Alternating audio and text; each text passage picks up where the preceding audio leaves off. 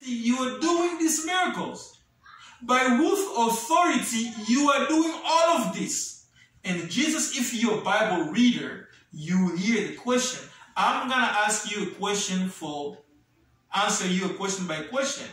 By what authority John the Baptist started to baptize people? By what authority John the Baptist started to baptize the people? Everything is about authority. You want to have life in your life, it's about authority. And the authority is something that you need sometime to keep clean, to keep it decent, to keep it shiny, to keep it brighter, to keep, make it lighter, and to make it more friendly so that people can get to you because you might have authority, but if you are not clean, you are not nice with other people. You are not dealing with the people friendly. You are treacherously dealing and cheating people and pushing like a bully people around. Your authority may be trampled down. Your authority may be cut off from you because you are trampling everybody down. So everything we do in this revelation, the biggest thing is about authority. Example even here, God is talking to seven star. He said, the mystery of the seven star that you saw in my right hand and of the seven golden lampstands in this, the seven star are the angels of the seven churches and the seven lampstands are the seven churches. Though the church has an authority, the authority is an angel. And that angel, as I said earlier, they, we all believe they are archangel. But uh, archangel, I'm not gonna go uh, into. We talk about different uh, archangels, level. Uh, seraphim, cherubim, archangel, who are the most powerful. Yeah, seraphim, cherubim are more powerful. Archangel comes in, but angels actually, a lot of them, the seven angels that we mentioned here in the readings that we go further, are proven to do the three jobs altogether. They are seraphim, they are cherubim, and they also are archangels. So most archangels are not just archangels. Most archangels can rank three levels. So that also is something I will talk to you later. So archangel may be lower than the seraphim and the cherubim, but those archangels are pretty much is like somebody who's a manager, is a supervisor, and is an employee too. He may be a supervisor, but he goes to the field he works on the field. He can go to the office. He can also make phone calls. He can go to meeting of the boss. So he's not just a supervisor. He may be also a field worker who's on site and he's in the office to make the, this destroy. And he can also go to the big meeting with the big bosses. So Archangel pretty much does the same thing. They do three jobs, three-time job at the same time. So God, that's why God trusted them even his own personal church because they, they're powerful, they, they can uh, motivate, they can go up and down. So, ladies and gentlemen, this is a chapter number one of the Revelation and book, and we are speaking here the introduction of the seven star. The right hand, God put his hand, Jesus put his hand, and John saw seven star, which represent every church that existed. And I mentioned in this video, Laodicea is the last church the last last church where uh, we live in, where the judgment of God will come. And talking about the church, it comes in the chapter number two. I hope that we'll have another chances to discuss about the letter, and uh, we'll do our video. In all general uh, general explanation, there is hope in the resurrection because Jesus explained I was dead, and behold, I'm alive forever and ever, and I hold the keys of death and Hades. So Jesus has the key. The keys, even say keys of death and Hades. There are multiple keys. You see the big ring of keys? Yes, he has it. Every door, every situation, every circumstances, and every door Jesus opens. He even took the key from death. He took the key from Hades and he has that. He bound from uh, from from heaven, on earth is bounded. He unbound on earth, on on on heaven is unbounded. So believe in the Lord Jesus Christ is the best thing you can do. You may feel weak all the time. You may feel like you don't do things right. But if you believe in the word of Jesus Christ and you read this Bible, yes, every day is going to be giving you a shower of his love. Every day is to giving you a shower of his compassion. Every day is to walk with you like a father walk with his son. If you have a son who smokes a cigarette, you're not to persecute him. You will tell him what you think is best. Watch out for cancer, watch out for this, watch out for that. But it's not more than more less more love for your sons or daughter as much as God. The Lord God does not love you less because you make mistakes. God does not love you less because you have some habits. No, that's people want to make you feel guilty. People want to make you feel bad about yourself so that you can feel bad. You feel bad, that's your choice. I'm here to tell you that God loves you. He died on cross to go get the keys of death and Hades. So whenever you die, you can find the door wide open. You can cross that, that, that path and go to him without asking no question. In other words, he paid off for passage that we can go from life to death to death to life back to him as he purposely done the work for. And also, as he was reading, and the first verses number 15, it says, His feet were like a bronze glowing in a furnace, and his voice was like the sound of rushing water. In his right hand he held the seventh star. And out of his mouth came a sharp double-edged sword a sharp double-edged sword. What do you see about a double sword? Double-edged sword is just the word of God may may be extremely piercing. It can really get you straight, circumcise your heart. To circumcise your heart, people say, but why is the sword coming out of his mouth? Yeah, this is I said the authority. Everything is about the authority. The sword coming out of his mouth is a, it's it's a mystery of the powerful, how powerful are his words. His words are so powerful that when God sends his word, it goes in a mission. The word of God goes in a mission and don't, don't do not come empty-handed. So his word that's so powerful. It's like you see a police officer come with you with a gun. It says to you, move along. You, you are not gonna you're not gonna argue It's like, oh come on. Or you see somebody coming with a weapon to you, say, uh, I, I come here to arrest you. Or you're gonna argue, say, no, I don't wanna fight with you. No. You got you stand no chance.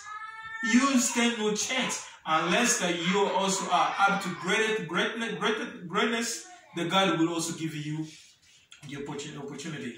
Thank you very much for staying up with us. We'll appreciate the timing with you. The preaching of today is about keep hope. Open your mind, open your spirit. And brother and sister, if you're feeling too hold in yourself, I can urge you from this video is a, is a simple advice to you. Go out in the mall. Go walk outside. Go in the mall. Get yourself something new in your life trying to see how could you do your things differently and pray to God your Lord he will be able to save you and to give you whatever whatever you need these are the words of God that we are sharing today and in verse number 8 he say I am the alpha and the omega says the Lord God who is and who was and who is to come the almighty he was he is and he has to come. He is the Almighty.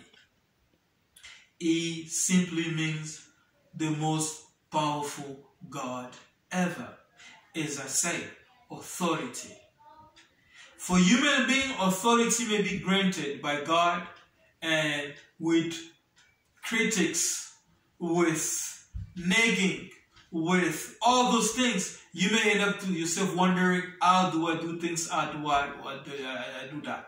But the word of God here, showing us the Almighty God, is introducing, first of all, who He is and what kind of power He's holding, Almighty, and he's talking to the people in the seven churches, addressing the angels in the spirit world to fix what's going on in the church and to speak to the people in the church to fix their behavior so the Lord God may find them just and not destroy them. We thank you for coming here. You should have a chance to read Revelation number, uh, chapter number 1, verses 1 to 20 and get yourself acquainted with every single word and try to understand. In this Bible, God is always trying to tell you. Why I say try because you may close and put aside. It's not because it's not writing. It's because because you have more questions. As I say, people want to wonder, well, is he really existing? If God really exists, is he really great? I say, we do not have material in a human world, in a planet, that explains the origin of God. We do not. If anybody comes to you say, I know the origin of God, this is the material it, tell them to close the book because nobody has it. It's a, a bogus and a lie. What we have, it's the dust becomes human, human limbs, human being taken to sleep, Eve being created in Adam's rib, and Eve becomes a woman, and later on they start having children. And before man be created, look who created him, the creator. The, for, the, the formless land, the formless uh, planet, as God find the, the formless uh, planet, he made it a living, uh, a living planet. So we do, ladies and gentlemen, we do not have the accuracy of the mystery of our Lord. Is our Lord God? Is is is the creator of heaven and earth. He exists, he lives among us, and he said to us the day we will be with him, he's gonna show us all the mystery. The Bible here says in the Revelation, God will even explain to us where he comes from. For now on is sealed. The mystery of God will be revealed. If we go through the chapter number, uh, the last chapter, the mystery of God will be revealed. But why God revealed, I would tell you that you need to follow this teaching. It's good to believe. It's good to praise the Lord our God. So, ladies and gentlemen, I will be glad if you want to have a small prayer. You can write the email address that goes to this video. We will be able to follow you. Subscribe in our channels and take time to always uh, follow what we do because what we're sharing, it's not difficult. We're not coming here to make you panic so that you can be going, no, we're coming to assure you everything God says in this Bible book, people that belongs to him will be put aside.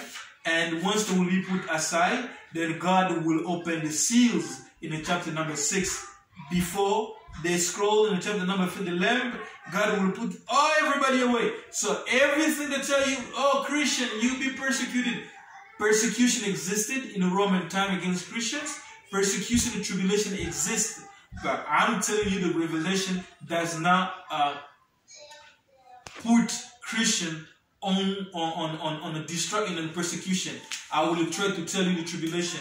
Yes, in later on, I'll tell you there's angels, demons that come to try to wage war, but we will go through this slowly, slowly, step by step, one video at a time. I thank you for your time. I thank you for your concern uh, coming to us. My name is Douglas Tshilombo. Our channels is Speaks About God. If you are interested to continue this study, this reading, I will, you know, recommend you to subscribe. Be strong, be powerful. God uplift. You believe is going to uplift you. You have some habits. I'm not coming to say, yes, you can repent. Your repentance, I can say to you, is believe that God exists. Jesus Christ is God.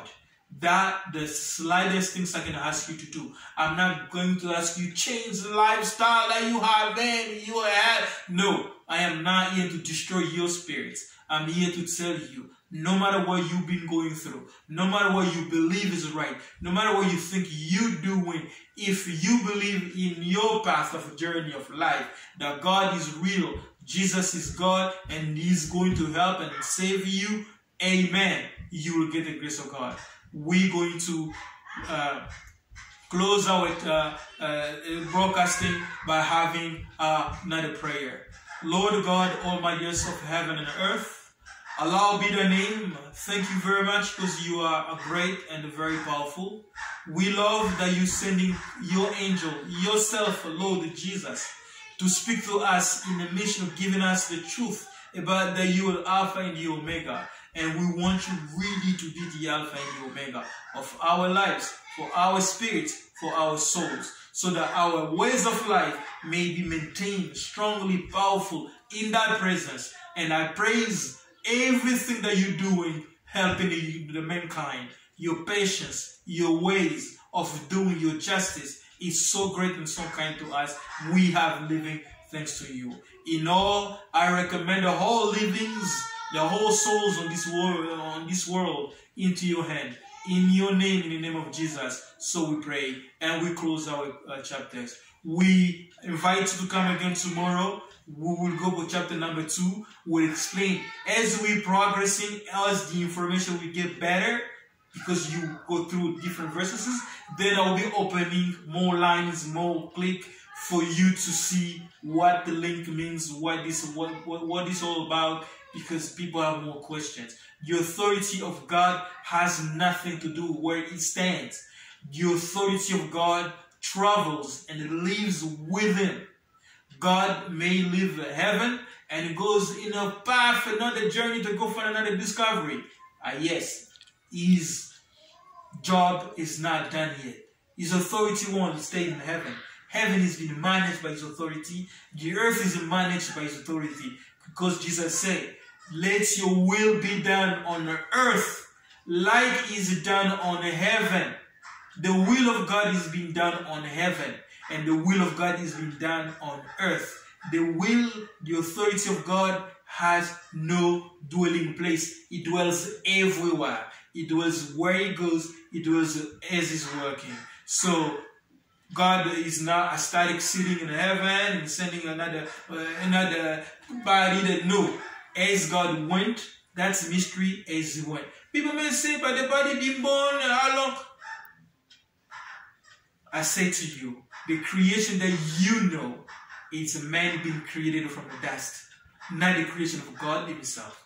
So let us be handed over what we can receive and understand. And let us, when time is appropriate, I'll give you more. I will explain you more and more and more. Because what? God is a spirit. God is a spirit the spirits can get into a body in a second. I'll give you an example before we close this broadcasting quickly because you might not feel that short. Samson, for example, the strongest powerful man on in the Bible, Samson did not have his power all the time. Only when the Philistines were attacking him, only when he felt he was in danger, the Bible says the Spirit of God was falling on him and Samson was becoming more powerful. The spirit does not wait for the body to be conceived so he can get into it. The spirit existed before everything. And God is a spirit. Is not body. Is a spirit. And the word are invisible. As I'm speaking, you can see my mouth moving, but you don't see the word coming out of my mouth. You can hear that. So this invisible, how the spirit is invisible.